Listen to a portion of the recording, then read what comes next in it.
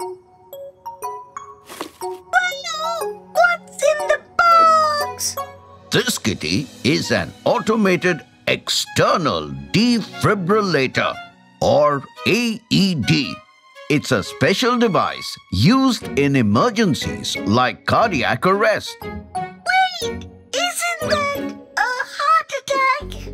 Oh no, it's easy to mix them up, but they aren't. So let me clear things up by explaining what actually causes a cardiac arrest. Zoom in! Imagine you're sitting in a class chatting with friends when suddenly someone next to you collapses and stops responding. Panic sets in. What's happening?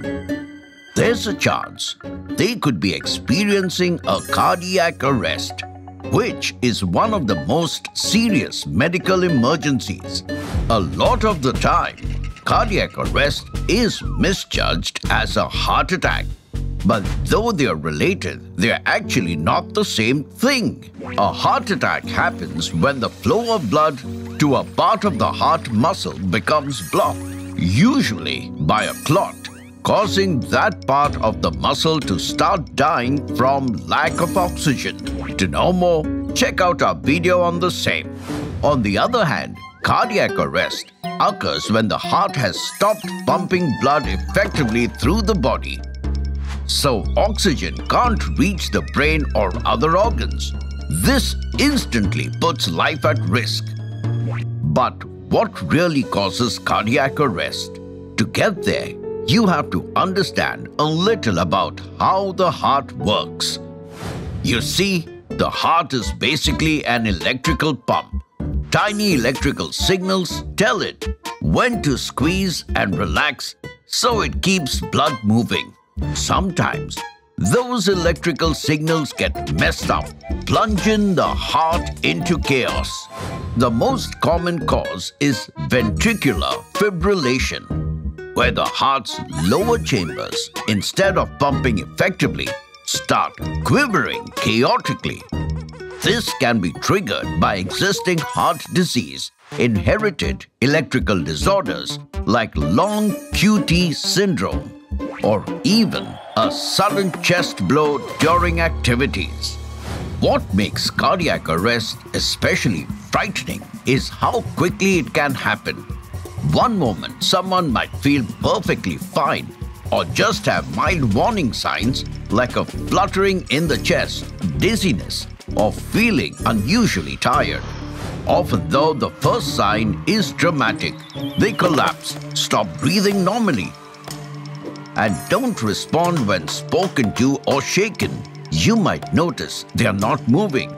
Their skin turns pale or blue and there's no normal pulse. So, if you ever witness someone collapse and suspect cardiac arrest, what should you do? Firstly, stay calm and shout for help. Get someone to call emergency services immediately. Then, Check if the person is breathing and responsive. If they aren't, it's time for action. Doing CPR, cardiopulmonary resuscitation, by pushing hard and fast in the center of the chest at about 100 to 120 compressions per minute. Like the beat of staying alive can double or even triple a person's chances of survival. If there's an automatic external defibrillator AED nearby, use it. These simple machines deliver a shock to try and restart the heart's normal rhythm, and they literally talk you through the steps. Every minute that passes without CPR or defibrillation makes survival less likely. So, acting quickly really matters. I know Cardiac arrest is terrifying, but understanding what it is and knowing what to do could help you save a life someday.